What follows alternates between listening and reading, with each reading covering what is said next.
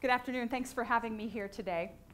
I'd like to talk to you a little bit about a project that I'm pioneering with my undergraduate survey course this semester. But first, I need to give you a little bit of background information on what it is that I do.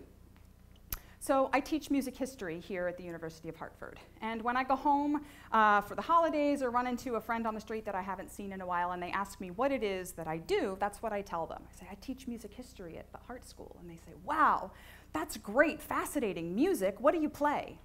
And I say, well, yeah, okay, I get that a lot. So I smile, I laugh a little bit, and I say, yeah, I perform, I'm a performer. But when I teach here at Hartt, I teach music history. And I sort of emphasize that word history a little bit and they, the smiles fade a little bit or the eyebrow goes up and they say, oh, okay, so you don't, you don't play. Um, are you sure? What do you teach? So I get that question a lot. What do you teach?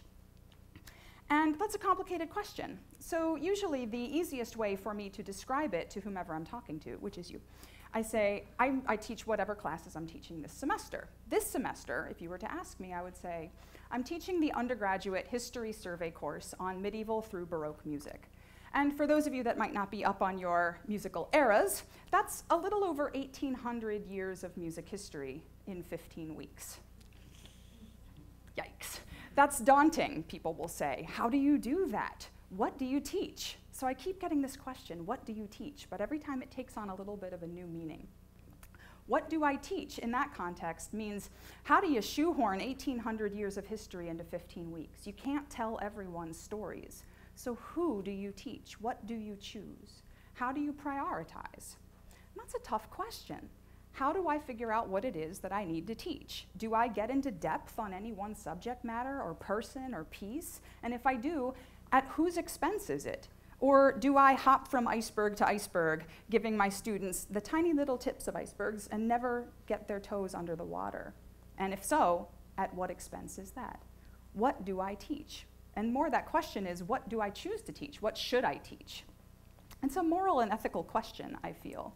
Uh, and on some level, that decision is made for us by whatever textbook we happen to be using, which is awfully handy.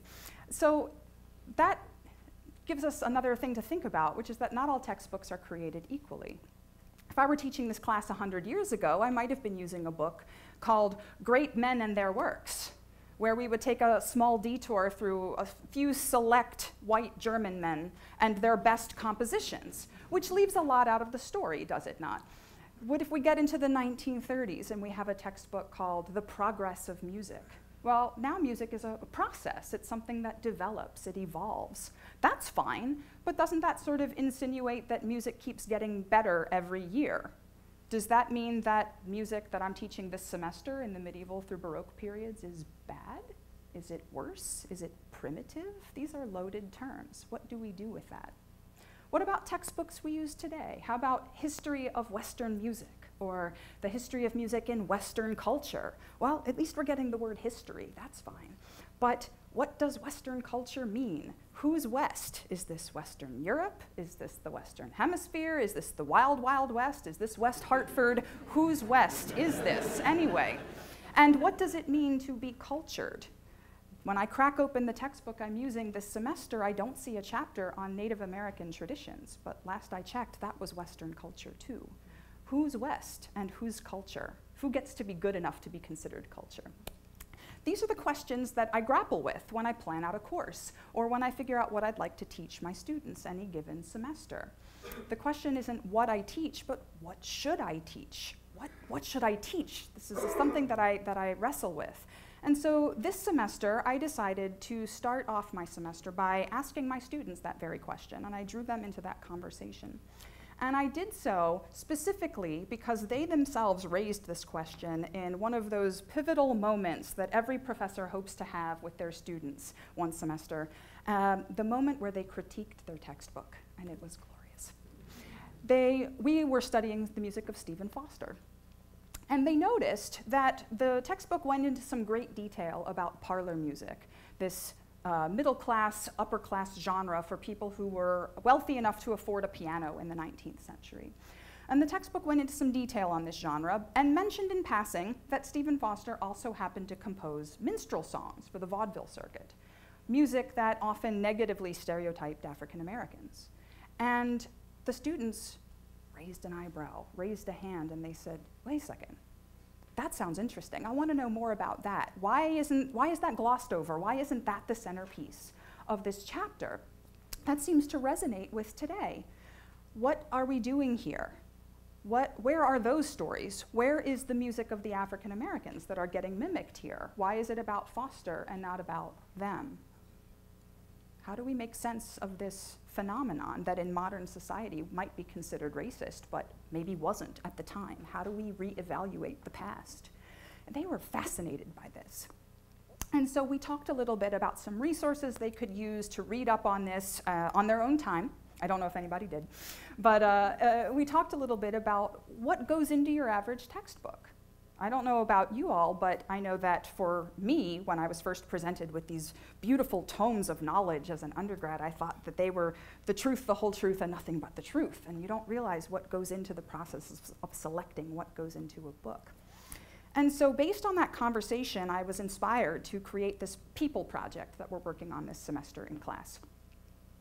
I started off class by asking them to revisit that conversation that we had had on Stephen Foster, and not surprisingly, most of them remembered. I said, I'd like for you all to start brainstorming. I'd like for you to think about other types of people that get left out of the book. Whose music don't we study? Whose stories don't show up in your book? Who don't you learn about? Who might you want to learn about?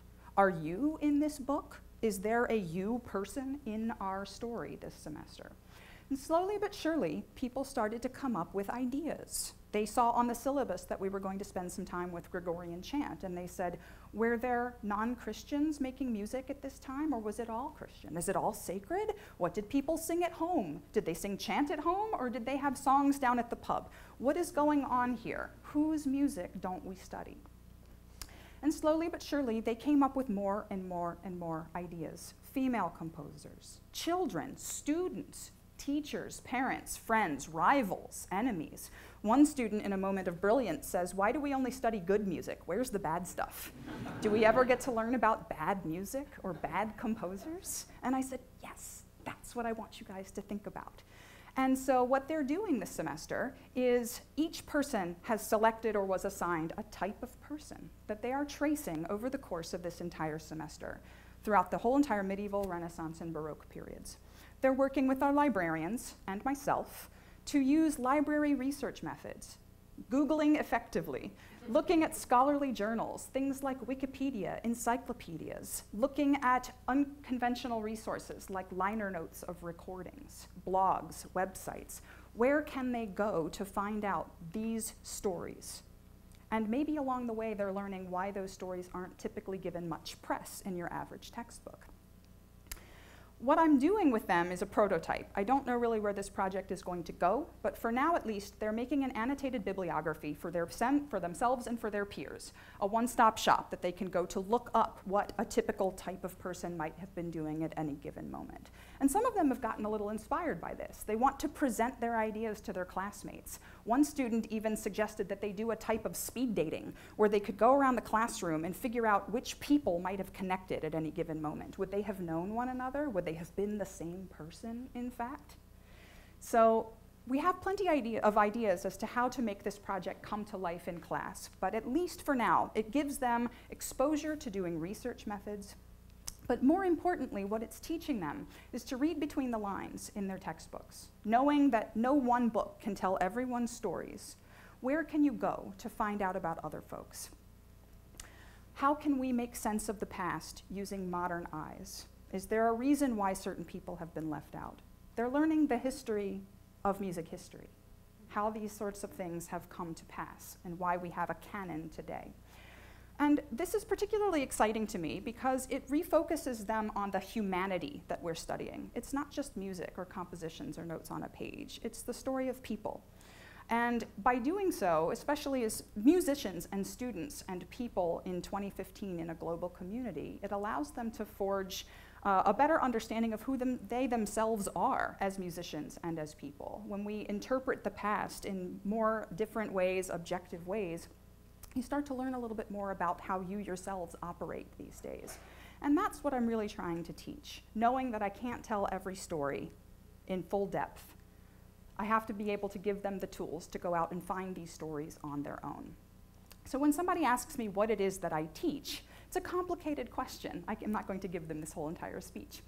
But it's important to recognize that when somebody says, What do you teach? it's more about whose music is it that I'm expecting people to know? Whose music is it that is important? And it's all important. So my students are learning how to think about whose music has gotten into the book, but more importantly, whose music they're choosing to study, whose music they're choosing to listen to, whose music do they go out into the library and research, whose music are they going to perpetuate, and what are those stories? And that is actually what I teach. Thank you.